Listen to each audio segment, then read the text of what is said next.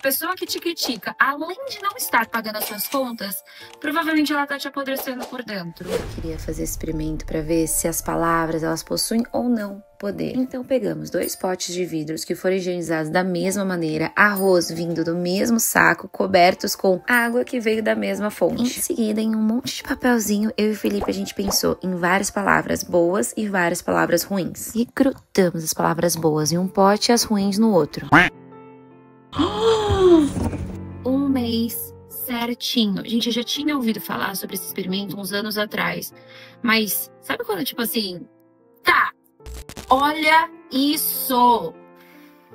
A prova do quanto as palavras importam, gente. Olha isso aqui.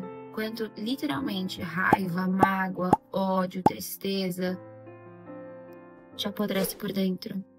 Do quanto amor, Deus, amizade, alegria, amor. Olha só. No máximo, ó, um fermentadinho. Mas a diferença. E já que as palavras importam, quem são as pessoas que eu ouço, que eu deixo perto de mim? E não só isso. As pessoas a gente pode escolher, né? Tipo assim, essas pessoas eu vou deixar pertinho ou não. E quando você é o seu maior crítico?